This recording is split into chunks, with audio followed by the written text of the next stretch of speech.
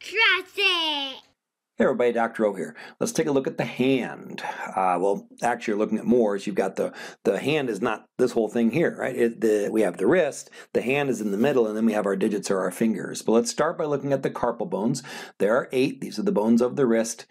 Um, they are called the, I'll try to go slow here, the scaphoid, which means boat shaped, lunate, which means moon shaped, triquetrum, which means three cornered, pisiform, which is shaped like a P, trapezium, which means table, trapezoid resembles a table, capitate, which is head-shaped, and hamate, which is, means hooked bone. So scaphoid, lunate, triquetrum, pisiform, trapezium, trapezoid, capitate, hamate. Now how I remember them in that order is Sam likes to push the toy car hard. So that's going to be the proximal row, then the distal row, if, if that's how you want to remember it. But there is another mnemonic device that takes a U-turn here in the middle but it's called So Long to Pinky, Here Comes the Thumb. So I kind of like that one as well. So So Long to Pinky is scaphoid, lunate, triquetrum, and pisiform, So Long to Pinky. Here Comes the Thumb then goes backwards, hamate,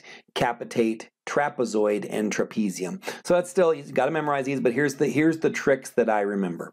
Number one, in the first row, pisiform, shaped like a P. So look at that little, that P-shaped pisiform like the pea you eat, not the letter. So pisiform. Then remember trapezium thumb. Trapezium thumb. So I remember where the trapezium is.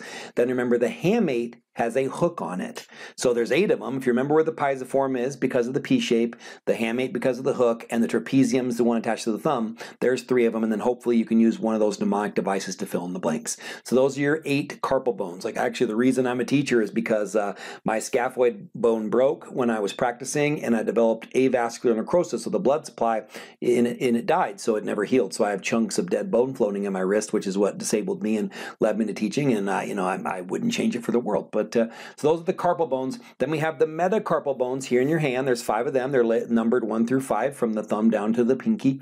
And then you have your phalanges. There are 14 phalanges per hand. So you've got uh, your thumb or your pollex only has two, a proximal and a distal. All the rest of the fingers have three, a proximal, middle, and distal.